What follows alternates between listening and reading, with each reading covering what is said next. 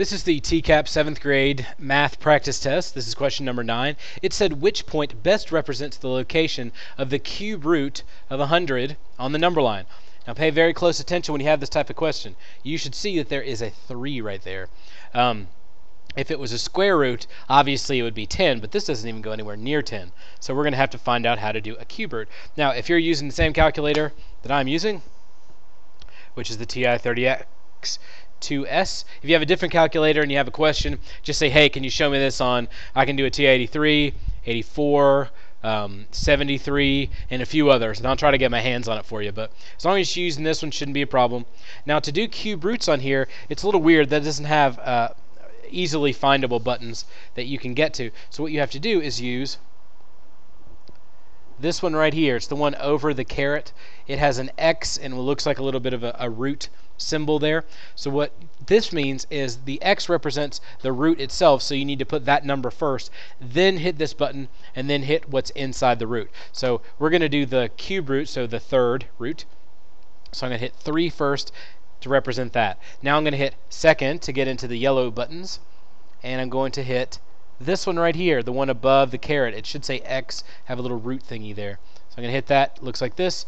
Then I'm going to type in the number itself, which is 100 and I get 4.64. So I'm going to write that down. And you can just break it off at a certain point. Now, I'm going to look for numbers that are greater than 4, but less than 5, obviously. So it's not going to be W. That's between 2 and 3. That makes no sense. X isn't all the way up to 4 yet.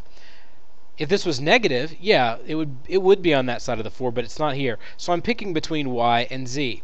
So what I need to do is sort of break out this 4 5 stuff to think about where 4.6 is going to be located. And I'm going to do it by writing the tens down 4.1, 4.2, 4.3, 4.4, 4.5, 4.6, 4.7, 0.8, and 0.9.